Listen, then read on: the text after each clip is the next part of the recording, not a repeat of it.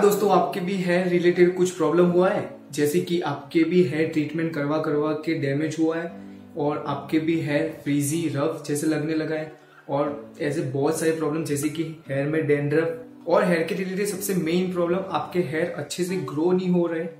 सो so guys कोई बात नहीं। आपका भाई आज ऐसी टिप्स और प्रोडक्ट के बारे में बात करने वाले जो आपके हेयर के रिलेटेड 100% परसेंट प्रॉब्लम को दूर कर देगा। सो हेलो गाइज़ केम छो? Welcome to back my channel मैं हूँ Avinash. So without wasting any time चलते हैं direct video Here we go.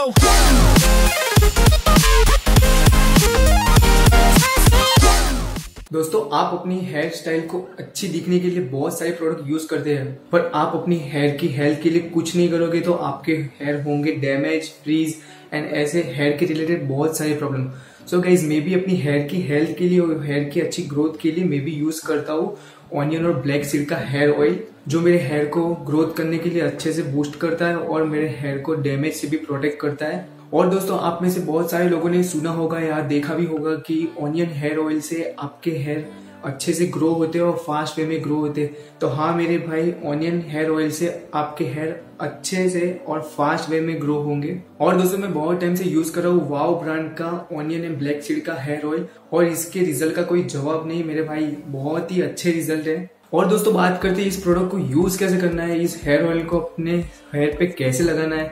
तो आपको सिंपली अपने हाथ पर दो से तीन पंप लेने हैं। और अच्छे से अपने स्केल पे और हेयर पे आठ से दस मिनट तक मसाज करना है। और दोस्तों, आपको ये हेयर ऑयल कम से कम एक घंटे के लिए तो लगा के रखना ही होगा। और आप चाहो तो इस हेयर ऑयल को ओवरनाइट भी छोड़ सकते हो। और मैं आपको यही बताऊँगा कि अच्छे रिज़ल्ट के लिए आप उसे ओवरनाइट छोड़ दो और सुबह मॉर्निंग में अच्छे से शैम्पू से वॉश कर दो और दोस्तों, आप भी इस हेयर ऑयल को ट्राई करने के बारे में सोच रहे हो तो मैं आपको इसी ब्रांड का रिकमेंडेड करूँगा कि आप इस हेयर ऑयल को ट्राई करें। और इसके की इंग्रेडिएंट्स के बारे में बात करें तो इसमें कोई भी हार्मफुल केमिकल जैसे कि मिनरल ऑयल और सिलिकॉन नहीं है, जो आपको हेयर को डैमेज करता है। और इसी के साथ साथ इस ऑयल में castor oil almond oil onion oil और कोकोनट ऑयल भी है, जिससे आपके हेयर में शाइन भी आएगा और डैमेज से भी प्रोटेक्ट करेगा।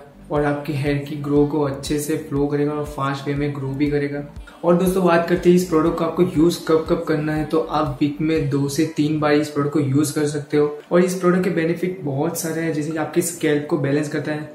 आपके हेयर लॉस को रिड्यूस करता है और आपके हेयर की जो फ्रीजीनेस है, जो आपके हेयर रफ हो गए, उसको भी रिमूव करता है। और इस प्रोडक्ट का सबसे मेन बेनिफिट वही है, आपकी हेयर की ग्रोथ को बूस्ट करता है अच्छे से। और दोस्तों, इस प्रोडक्ट की लिंक मैंने डिस्क्रिप्शन में दे दिया, वहाँ जाके चेक कर सकते हो।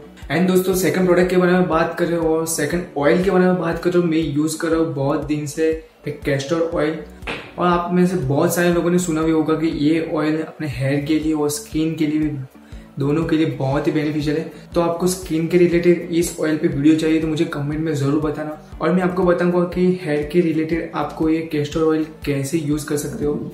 और दोस्तों, बात करते हैं इस प्रोडक्ट को यूज़ कैसे करना है। तो ये प्रोडक्ट आपको हाथ पे दो बार पंप करना है और अच्छे से अपने स्केल पे और हेयर पे 10 मिनट तक मसाज करना है। और आप इसे ओवरनाइट के लिए भी छोड़ सकते हो और मॉर्निंग में इसको अच्छे से वॉश कर लो। सो so इस प्रोडक्ट की की इंग्रेडिएंट्स के बारे में बात करें तो ये 100% परसेंट प्योर कैस्टर ऑयल है और इसमें बाकी कुछ भी ऐड नहीं किया हुआ और इसमें हार्मफुल केमिकल जैसे कि सिलिकॉन और मिनरल ऑयल भी नहीं है, जो आपके हेयर को थिक बनाने में हेल्प करेगा हेल्थियर बनाने में हेल्प करेगा और आपके हेयर को फास्ट वे में ग्रो करने में भी हेल्प करेगा और बहुत सारे स्किन के रिलेटेड भी इसके बेनिफिट्स है।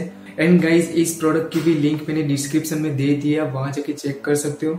और दोस्तों, आपको हेयर को अच्छा बनाना है, अच्छे से ग्रो करना है तो ये दो हेयर ऑयल ज़रूर यूज़ करना चाहिए। और दोस्तों, सच में इस वीडियो बनाते बनाते मेरी हालत खराब हो चुकी है, आप देख सकते हो, मैं पूरा गीला हो गया हूँ पसीने से। सो इसी बात पे वीडियो ज़रूर लाइक कर देना। सो so गाइज़ आज के लिए वीडियो में इतना ही। और वीडियो अच्छा लगे तो लाइक करो शेयर करो, और चैनल को सब्सक्राइब करो। और मुझे कमेंट में बताओ कि नेक्स्ट वीडियो किस टॉपिक के बारे में चाहिए, किस प्रोडक्ट की रिव्यू के बारे में चाहिए। तब तक के लिए बाय बाय